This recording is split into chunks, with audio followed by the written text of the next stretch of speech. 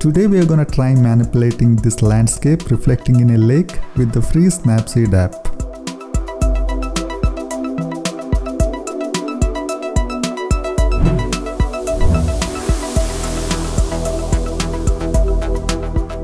We are gonna start with basic tuning in Tune Image menu.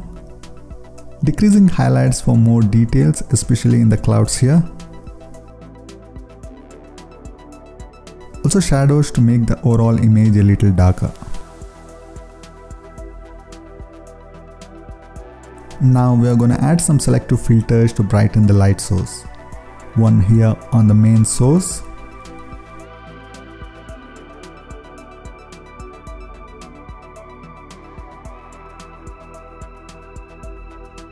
Couple more here to reveal the hidden light on the edges of the mountains.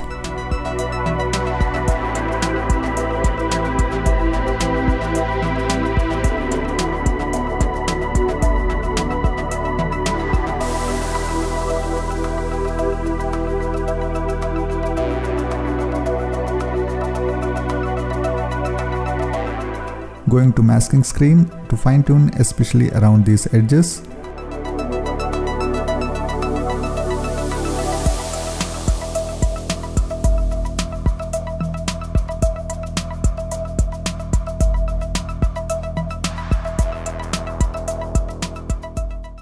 Next we are going to create some colors with curves.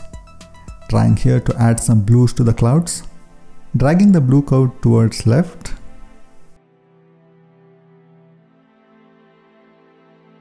Also adding some turquoise by dragging the red curve down to make the blues look more natural. Going to the masking screen. With the effect enabled, removing the effect in the foreground and the mountains.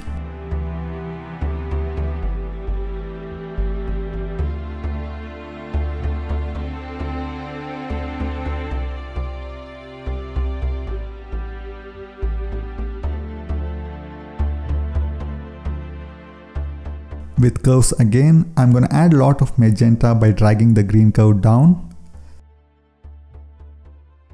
Making a curve here so that it doesn't affect the shadows too much.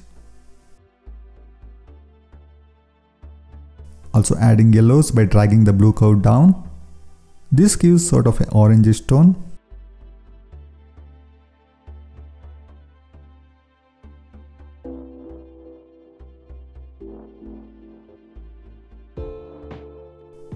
Opening curves again, lifting the blacks just a little.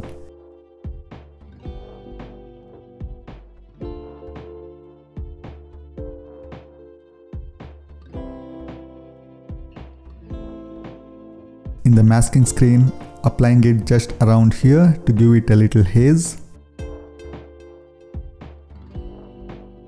For more color and brightness, lifting the blacks again, this time a lot.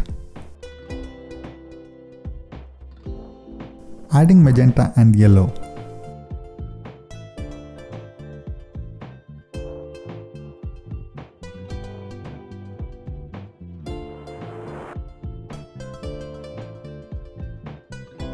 Going to masking screen and applying it for more light.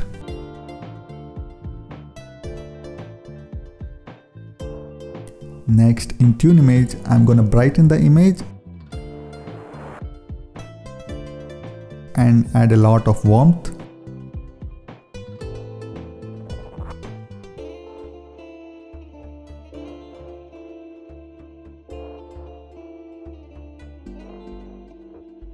In the masking screen, first with 50% brush opacity, just tapping around here to create a brighter warm light.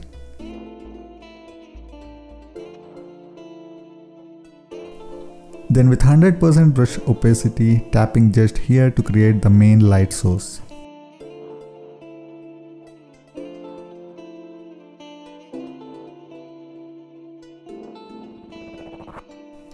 Going to the vintage filter, selecting preset 12 to give the image some vignetting, which also gives some pop to the overall image.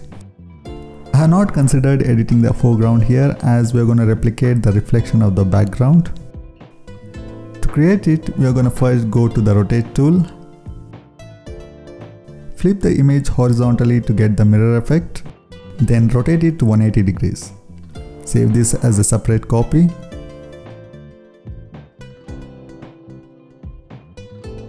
Also delete this last effect applied. As there is not enough space here in the foreground to add the saved image, I'm going to use the expand tool and expand it at the bottom couple of times.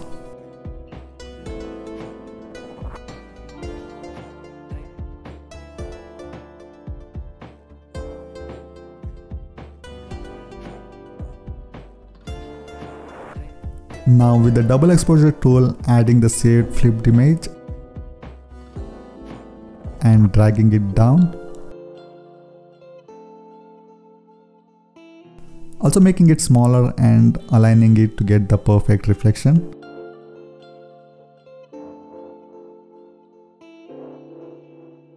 Increasing the opacity to 100. Going to the masking screen. Removing the top half of the image to reveal the original edited image.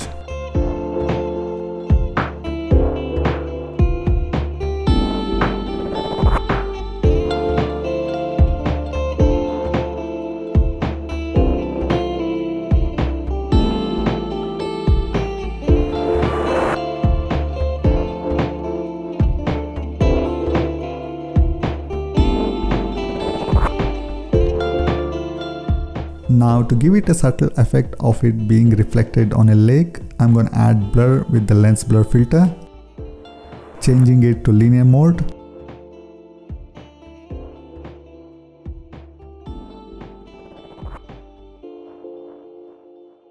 Moving it to the top so that the blur effect is total on the bottom half.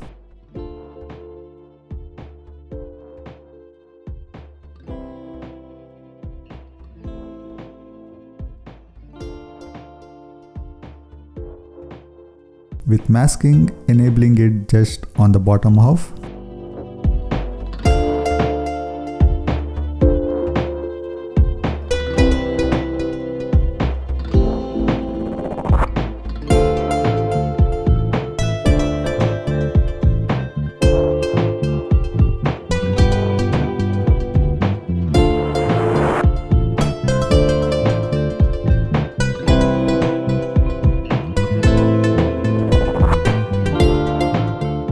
This gives it a nice effect of landscape reflecting on a lake.